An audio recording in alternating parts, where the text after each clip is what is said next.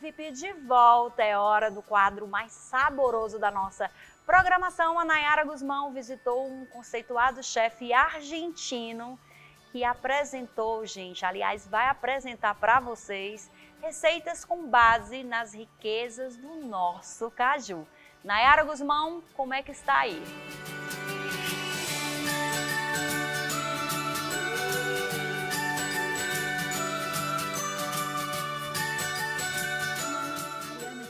prazer a gente está colocando mais uma campanha da Cajuína São Geraldo aqui no nosso espaço VIP. Logo um produto desse sensacional, uma empresa genuinamente cearense, nordestina e que nós, aqui da nossa TV Diário do Espaço VIP, temos muito orgulho em fazer parte.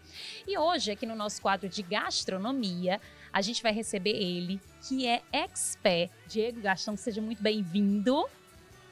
Muito bem-vindo a vocês, é um prazer tê-los aqui e, bueno, vamos ver o que saiu desses pratos de, de essa fruta tão desejada, né? Verdade, olha, a gente já está aqui, olha, muito bem acompanhados, porque hoje aqui no programa o chefe ele vai apresentar para a gente pratos que ele usou de muita criatividade, mas utilizando o caju, a castanha. Esse nosso produto que é tão regional, ele é 100% aproveitado e ele é responsável, gente, por muita parte da economia aqui do nosso Nordeste, principalmente do nosso Ceará. Para vocês terem noção, de 184 municípios que nós temos, 153 utilizam desse produto para poder ter a sua renda. Então, assim, é um produto maravilhoso e que eu acho que não foi difícil, hein, chefe, de poder criar esses pratos aqui para gente.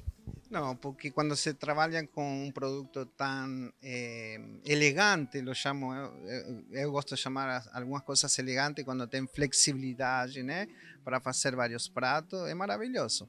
E não só na produtividade, sino na saúde. É um produto que tem muita vitamina C, mais que a laranja, tem vitamina A, tem vitamina B, ou seja, que para a saúde faz muito bem.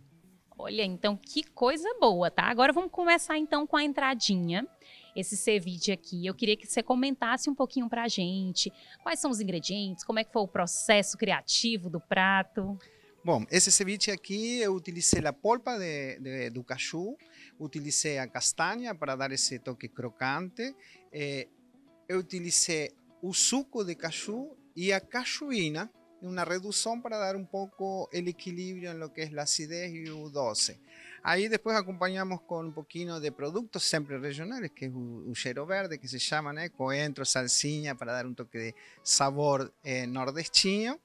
Y, y, aquí se puede comer eh, muy agradable antes de cualquier tipo de pratos y esperemos que fique sabroso.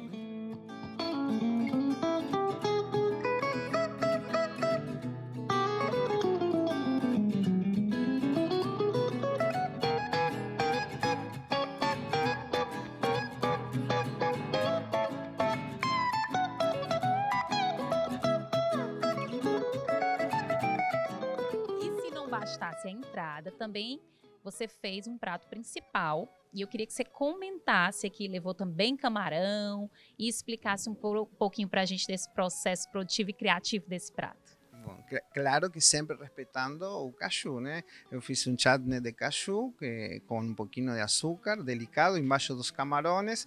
Camarões é um produto eh, fresco que combina muito bem com esse tipo de frutas. Eu posso fazer muitas combinações. Eu vindo da Itália, o risoto tem que estar. então, um risoto de limão siciliano, um risoto cítrico. E utilizei a cajuína eh, que temos aqui, reduzida para dar esse toque final eh, por cima dos camarões.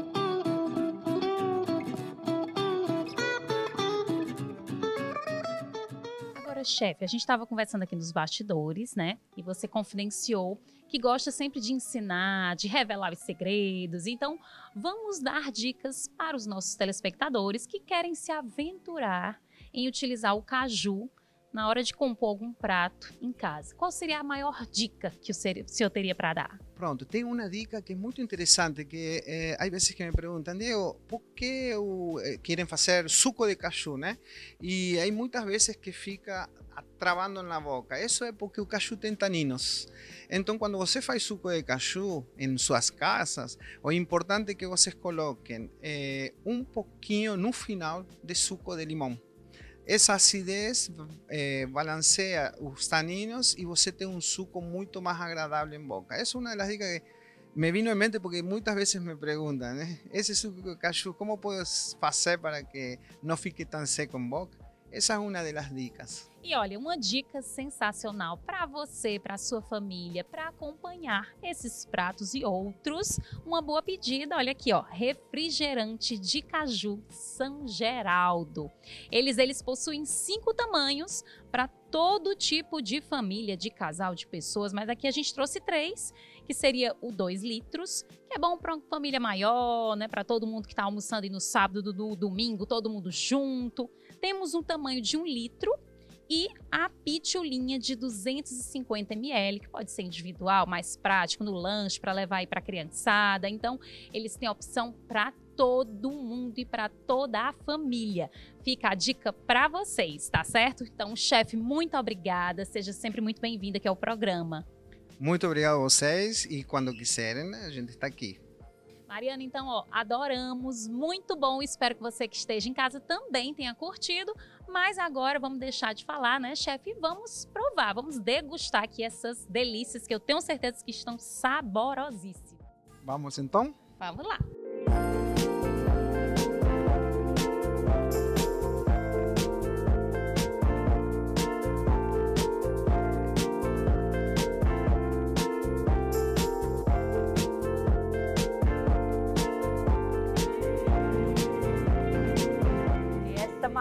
Matéria deu água na boca, viu, Nayara Guzmão? Muito sucesso, sucesso ao chefe Gaston.